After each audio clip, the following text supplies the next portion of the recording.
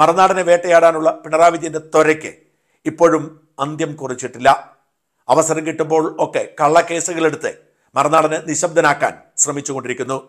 P V അൻവറിന്റെ നേതൃത്വത്തിൽ മറുനാടനെ ഒരു പ്രത്യേക മതവിഭാഗത്തിനെതിരാണ് എന്ന് വരുത്തി തീർക്കാൻ നടത്തിയ വ്യാജ പ്രചരണങ്ങൾക്ക് കൂടി ഉണ്ടായ തിരിച്ചടിയായിരിക്കും ഈ വിധി. നീതിക്ക് വേണ്ടി മറുനാടൻ ഏറ്റെടുത്ത ദൗത്യത്തിന്റെ വിജയമാണ് ഈ വിധി എന്ന് പറയാൻ അഭിമാനമുണ്ട്. ഈ കേസിൽ തീർപ്പുണ്ടാകുമ്പോൾ പട്ടികജാതി പട്ടികവർഗ നിയമം ദുരുപയോഗിച്ചുകൊണ്ട് രാജ്യവ്യാപകമായി നിരപരാധികളെ വേട്ടയാടുന്നതിനും അറുതി വരും എന്നത് പ്രത്യേകം അഭിമാനമുണ്ടാക്കുന്ന കാര്യമാണ്. നമസ്കാരം. ലോകം കണ്ട ഏറ്റവും ഭീകരരായ മനുഷ്യർ എന്നൊക്കെ പറയുന്നത് ഹിറ്റ്ലറും മുസോളിനിയും ഈദിയമീനെ പോലുള്ള ആളുകളാണെന്നൊക്കെ നമ്മൾ പറഞ്ഞു കേൾക്കാറുണ്ട്. എന്നാൽ അവരെക്കാളൊക്കെ എത്ര ഭീകരനാണ് പിണറായി വിജയൻ എന്നുള്ളതിന്റെ തെളിവാണ് ഈ ഷാജസ് കറിയയ്ക്കെതിരെ എടുത്ത കേസ്. അദ്ദേഹത്തെ S C S T atrocity നിയമപ്രകാരം അറസ്റ്റ് ചെയ്യാൻ വേണ്ടി നടത്തിയ നീക്കങ്ങൾ. കേരള ചരിത്രത്തിൽ ഇന്നേ വരെയില്ലാത്ത പോലീസിന്റെ ദുരുപയോഗമാണ് പിണറായി വിജയൻ നടത്തിയിട്ടുള്ളത്. അടിയന്തരാവസ്ഥ സമയത്ത് പോലും ഇത്ര ഭീകരമായ വേട്ട നടത്തിയായിട്ട് നമുക്ക് അറിവില്ല. അടിയന്തരാവസ്ഥയ്ക്കെതിരെ ഭീകര നാടുകൾക്കെതിരെ പോരാട്ടം നടത്തി എന്ന് പറയുന്ന പിണറായി വിജയൻ ഭരിക്കുന്ന ഇന്നത്തെ മുഖ്യമന്ത്രി ആയി ഭരിക്കുന്ന ഈ നാട്ടിൽ അദ്ദേഹം മറ്റ് ലോകത്തിലെ ഏറ്റവും വലിയ ഭീകരന്മാരെക്കാളും ഭീകരനായിട്ടാണ് ഷാജസ്കറിയെ ഷാജസ് കറിയെ വേട്ടയാടിയിട്ടുള്ളത്. അദ്ദേഹം ജാ അറസ്റ്റ് ചെയ്ത് ജയിലിലടയ്ക്കാൻ എല്ലാ ശ്രമങ്ങളും നടത്തിയെങ്കിലും അന്ന് രക്ഷപ്പെടുകയായിരുന്നു. എന്നാൽ അദ്ദേഹത്തിന്റെ ഓഫീസ് റെയ്ഡ് ചെയ്ത് കംപ്ലീറ്റ് കമ്പ്യൂട്ടർ എടുത്തു പോണ രംഗം നമ്മൾ കണ്ടിട്ടുണ്ട്. ജനാധിപത്യത്തെ കൊല ചെയ്യുക അല്ലെങ്കിൽ പത്രസ്വാതന്ത്ര്യത്തെ കൊല ചെയ്യുക എന്ന് പറഞ്ഞാൽ അത് നമ്മൾ നേരിട്ട് കണ്ടു. മാത്രമല്ല അദ്ദേഹത്തിന്റെ ഓഫീസിൽ പ്രവർത്തിച്ചിരുന്ന പ്രവർത്തകരുടെ വീട്ടിലും സ്വന്തം വീട്ടിലും ഭാര്യ ഭാര്യയുടെ വീട്ടിലും ബന്ധുക്കളുടെ വീട്ടിലും അടക്കം പോലീസിനെ അഴിഞ്ഞാട്ടത്തിന് പിണറായി വിജയൻ ഉപയോഗിച്ചു. ഗുണ്ടാമാ ഗുണ്ടകളെ ഗുണ്ടകൾ അഴിഞ്ഞാടുന്ന പോലെയാണ് പോലീസ് എല്ലാ നിയമങ്ങളും ദുരുപയോഗം ചെയ്ത് അഴിഞ്ഞാടിയത്. പ- ഷാജസ് കറിയെ കിട്ടാത്തതിന്റെ ദേഷ്യമായിരുന്നു പിണറായി വിജയന്. അതിലുപരിയായി പി വി അൻവർ എന്ന് പറയുന്ന ക്രിമിനലിന്. Nilambur M L A criminal എന്താ ഏതെല്ലാം കേസുകളാണ് പ്രതിയായിട്ടുള്ളതെന്ന് നമുക്ക് എല്ലാവർക്കും അറിയാമല്ലോ. എന്തായാലും ഞാൻ ഇതിന്റെ ഉള്ളടക്കത്തിലേക്ക് ഇപ്പോൾ പോകുന്നില്ല. വിധിയുടെ കോപ്പി ഷാജൻസ് സ്ക്രീ എനിക്ക് അയച്ചു തരികയുണ്ടായി. ഈ വിധിയിൽ ഏറ്റവും സന്തോഷിക്കുന്ന ഒരാളാണ് ഞാൻ. കാരണം ഞാൻ മൂന്ന് തവണ ജയിലിൽ പോയിട്ടുള്ളതാണ് കള്ളക്കേസിൽ കുടുക്കി. ആ അതിലെല്ലാം തിരിച്ച് ഞാൻ കേസ് കൊടുത്തിട്ടുണ്ട്. മുപ്പത്തിനാല് ദിവസമാണ് എസ് എസ് ടി അട്രോസിറ്റി നിയമപ്രകാരം ഉള്ള കേസിൽ ഞാൻ കുടുങ്ങിയത്. ഈ കേസിന്റെ പ്രാധാന്യം എന്താണ്? പി വി അൻവറിന് വേണ്ടി പി വി ശ്രീനിജൻ കൊടുത്ത കേസിൽ നാല് കാര്യങ്ങളാണ് പി വി ശ്രീനിജനെ കുറിച്ച് ഷാജസ് കറിയെ പറഞ്ഞിരുന്നത്. ഒന്ന് എറണാകുളത്ത് ബ്ലാസ്റ്റേഴ്സ് ടീമിന് വേണ്ടി സെലക്ഷന് വേണ്ടി വന്ന പിഞ്ചു പൈതങ്ങൾ. അന്നത്തെ സ്പോർട്സ് കൗൺസിൽ പ്രസിഡന്റായിരുന്ന പി വി ശ്രീനിജൻ ഗ്രൗണ്ട് പൂട്ടിയിട്ട് അവരെ വെ- പൊരി വെയിലത്ത് പതിനൊന്ന് മണിയോളം നിർത്തിച്ചു. അത് കാട്ടുനീതിയാണെന്നുള്ളതാണ് അദ്ദേഹം പറഞ്ഞിട്ടുള്ളത്. മാഫിയ ഡോൺ എന്നാണ് പറഞ്ഞത്. സിനിമയിലൊക്കെ അദ്ദേഹം ബ്ലാക്ക് മണി കൊടുത്ത് ഇൻട്രസ്റ്റിന് പൈസ മേടിക്കുന്നു എന്നുള്ളതായിരുന്നു രണ്ടാമത്തെ ആരോപണം. മൂന്നാമത്തെ ആരോപണം കുന്നത്തുനാട് കേന്ദ്രീകരിച്ച് ടെക് സാബുവിനെതിരെ കള്ളക്കേസുകൾ എടുപ്പിക്കുന്നു. അദ്ദേഹത്തിന്റെ സ്ഥാപനത്തെ നശിപ്പിക്കാൻ ശ്രമിക്കുന്നു എന്നുള്ളതായിരുന്നു മൂന്നാമത്തെ ആരോപണം. ഇത്തരത്തിലുള്ള ആരോപണങ്ങളുള്ള മാഫിയ അതേപോലെ തന്നെ അദ്ദേഹത്തിന്റെ പിതാവായി ഭാര്യാപിതാവായിരുന്ന കെ ജി ബാലകൃഷ്ണൻ. ജുഡീഷ്യറി സംവിധാനങ്ങൾ ഉപയോഗിച്ച് കോടികൾ തട്ടിപ്പ് നടത്തി അഴിമതി നടത്തി അതിലൂടെ ശ്രീജൻ കോടികൾ ഉണ്ടാക്കി എന്നുള്ളതായിരുന്നു ആരോപണം. അത് സി പി എം ആണ് ആരോപണം ഉന്നയിച്ചത് അങ്ങനെയുള്ള സി പി എം പിന്നീട് അദ്ദേഹത്തെ എം എൽ എ ആക്കി.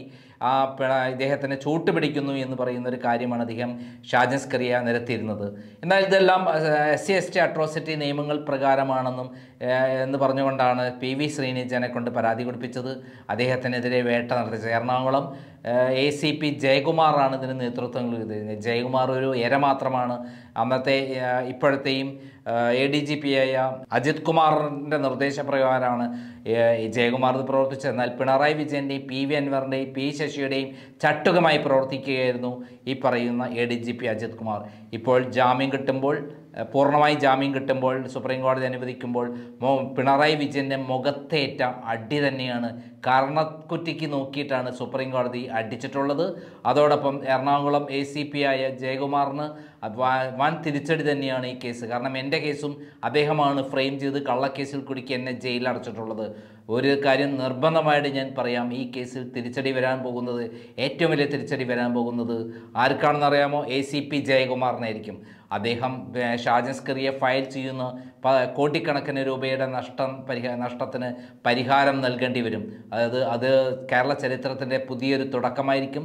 കള്ളക്കേസ് എടുത്ത് ഒരു ഭരണാധി ഒരു ഏകാധിപതിയായ ഭീകരനായ ഭരണാധികാരി എല്ലാവരെയും മൂക്കിൽ വലിക്കാമെന്നൊക്കെ നിശ്ചയിച്ച് മുന്നോട്ട് പോയാൽ അതിന് തിരിച്ചടി കിട്ടുന്നത് അങ്ങ് അതിൽ ഉൾപ്പെട്ട പോലീസ് ഉദ്യോഗസ്ഥന്മാർക്കായിരിക്കും എന്നുള്ളതിന്റെ ഏറ്റവും വലിയ തെളി തെളിവായിരിക്കാം ഈ കേസ്.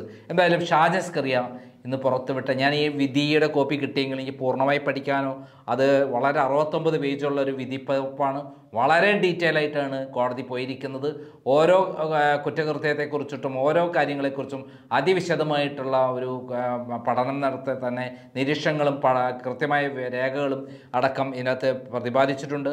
അതുകൊണ്ട് തന്നെ പൂർണമായി പഠിച്ച് വളരെ ഡീറ്റെയിൽ ആയിട്ട് ഈ വിധി പകർ വിധിയെക്കുറിച്ചുള്ള ഡീറ്റെയിൽ വീഡിയോ ചെയ്യേണ്ടതുണ്ട്.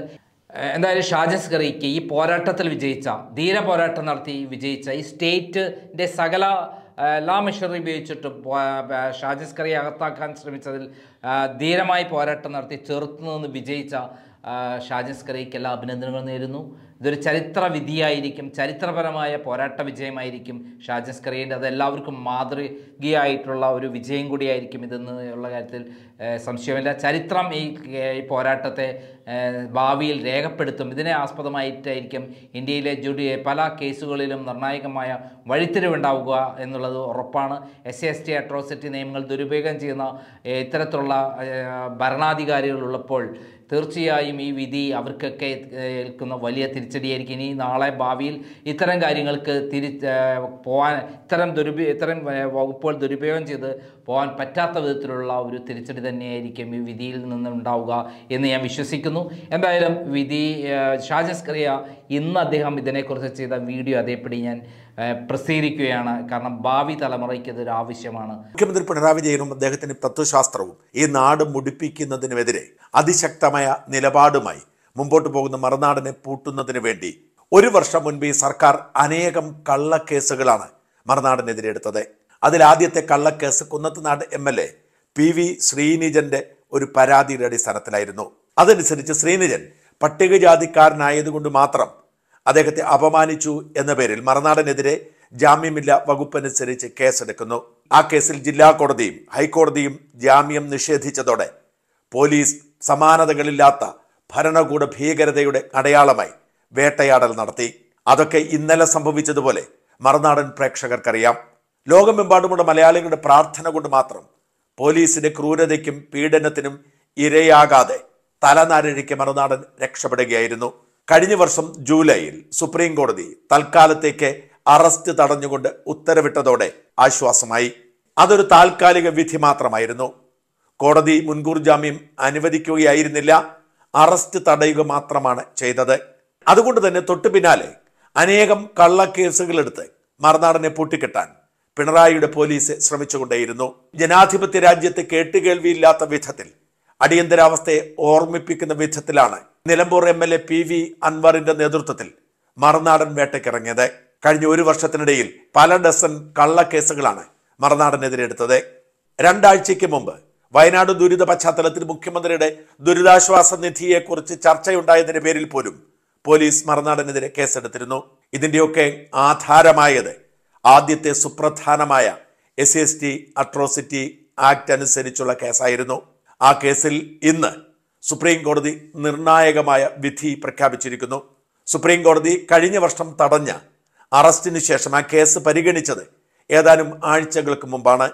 അന്ന് മറുനാടിന്റെ അഭിഭാഷകൻ സിദ്ധാർത്ഥ് ലൂത്രയുടെയും സംസ്ഥാന സർക്കാർ പുറത്തുനിന്ന് കൊണ്ടുവന്ന മുതിർന്ന അഭിഭാഷകന്റെയും ഒക്കെ വാദം കേട്ട justice J B Pardiwala justice Manoj Mishra എന്നിവരടങ്ങുന്ന ബെഞ്ച് സ്ഥിരം ജാമ്യം അനുവദിച്ചിരിക്കുന്നു. ഇന്ന് രാവിലെയാണ് കോടതി അതിനിർണായകമായ വിധി പ്രഖ്യാപിച്ചത്.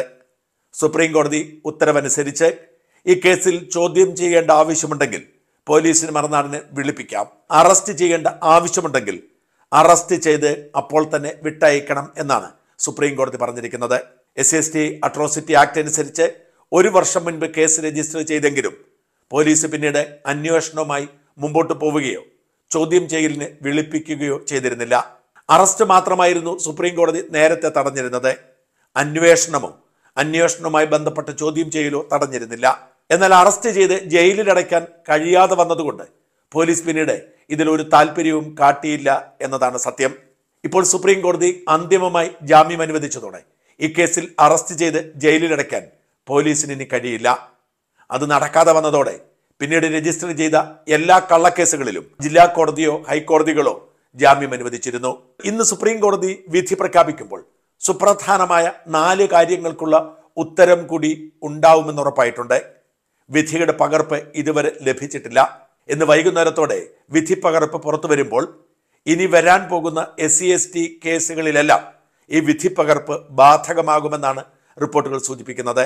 നാല് സുപ്രധാനമായ കാര്യങ്ങൾക്ക് ഉത്തരം കണ്ടെത്തുകയാണ് ഈ വിധിയിലൂടെ എന്ന് കോടതി വിധിവശെ പറഞ്ഞിരുന്നു.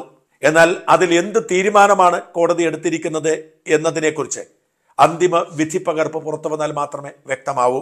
പട്ടികജാതി പട്ടികവർഗ പീഡന നിയമം രാജ്യവ്യാപകമായി ദുരുപയോഗിക്കുന്നതിന് തടയിടുന്ന തരത്തിലുള്ള വിധി പ്രഖ്യാപനമായിരിക്കും വരാൻ പോകുന്നത് എന്ന സൂചനയാണ് ഇപ്പോൾ ലഭിക്കുന്നത്. മറുനാടൻ മലയാളിയും കേരള സ്റ്റേറ്റും തമ്മിലുള്ള ഈ കേസിൽ നാല് കാര്യങ്ങൾക്കാണ് സുപ്രീം കോടതി തീർപ്പ് കൽപ്പിച്ചിരിക്കുന്നത്. ഒന്നാമത് whether section eighteen of the S C S T act impose an absolute bar on the grant of anticipatory bail എന്ന് വെച്ചാൽ എസ് സി എസ് ടി ആക്ടിലെ സെക്ഷൻ പതിനെട്ടിൽ ജാമ്യം കൊടുക്കുന്നതിന് ചില നിയന്ത്രണങ്ങൾ ഏർപ്പെടുത്തിയിട്ടുണ്ട്. ഇതൊരു ബ്ലാക്ക് ആൻഡ് വൈറ്റ് ബാൻ ആണോ? അതായത് S C S C act register ചെയ്താൽ പിന്നെ ജാമ്യം കൊടുക്കാൻ എസ് സി എസ് ടി പ്രത്യേക കോടതിക്ക് അധികാരമില്ലേ എന്ന ചോദ്യത്തിനായിരിക്കും ഉത്തരം പറയുന്നത്.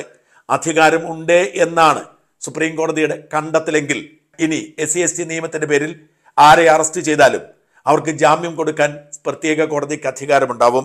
രണ്ട് when can it be said that a prima facie case is made out in a given F I R complaint ഒരു പരാതിയുടെയോ അല്ലെങ്കിൽ എഫ് ഐ ആറിന്റെയോ പുറത്ത് പ്രഥമ ദൃഷ്ടിയ കേസുണ്ട് എന്ന് കോടതി എങ്ങനെയാണ് നിഗമനത്തിൽ എത്തേണ്ടത്?